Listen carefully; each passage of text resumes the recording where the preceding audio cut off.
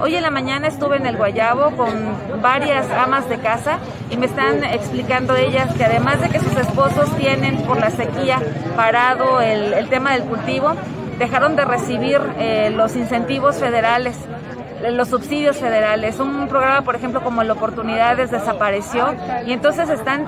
sin recursos, no tienen ni qué comer. Me dicen que ahorita dejaron de usar el gas porque les cuesta cerca de 800 pesos y están recurriendo nuevamente a cocinar con leña. Esto no es digno para ningún mexicano. Nos tiene que escuchar el gobierno federal y las cosas en el país. 25 pesos, el gas cerca de 800 pesos, la gasolina cerca de 22 pesos,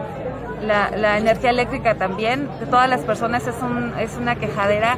Hay personas en el medio rural que me dicen ya se convirtió impagable la energía eléctrica y entonces les dije llévense el medidor, yo no puedo pagar esos recibos de la luz. Por eso te digo que el gobierno federal está siendo indolente y ahí no pueden decir que le compete al municipio o al estado, son temas directamente relacionados con la federación, la gasolina, eh, la energía eléctrica, el gas. El gas los productos de la canasta básica, el azúcar, el huevo, me explicaban hoy las amas de casa de la comunidad del Guayabo, me decían desde que fue la, eh, la Semana Santa, vamos, la cuaresma, el huevo se ha sostenido en el mismo precio y es como nuestro alimento básico aquí. Entonces dicen, si las cosas no cambian, seguiremos comiendo salsita con tortillas y yo creo que eso no es digno para ningún mexicano. ¿Por qué se está dando ese, ese incremento en todo eso? Pues era lo que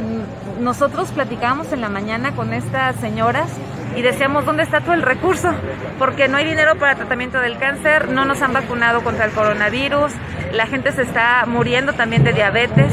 no hay operaciones, eh, no hay quirófano, no hay especialistas, en salud no se está yendo, no hay, en no hay cirugías, en seguridad tampoco se está invirtiendo el recurso, en fomento la economía tampoco, porque no hay impulso para las empresas, no se están conservando, por el contrario, miles y miles de empresas en todo el país están cerrando sus puertas, han quebrado debido a la pandemia y miles y miles y miles de mexicanos han perdido su empleo formal y entonces ahora están trabajando temporalmente sin gozar de una sola prestación y con la incertidumbre de qué van a comer mañana. Entonces, ¿dónde está todo el recurso? Somos un país rico y yo entiendo que el gobierno en su afán de poner candados para temas de corrupción haya tomado una serie de medidas porque eso es lo que ellos nos argumentan, pero no tienen por qué estrangularnos de esta manera, en todos los sentidos, en salud, en economía, en seguridad, en el...